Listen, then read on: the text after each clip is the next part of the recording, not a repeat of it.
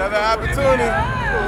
Chapter 2, paragraph 1. And Carlos Dunlap gets there and just throttles Allen. Hands it to Moss. Gets hit in the backfield and goes down. Who's there? The new guy, Dunlap.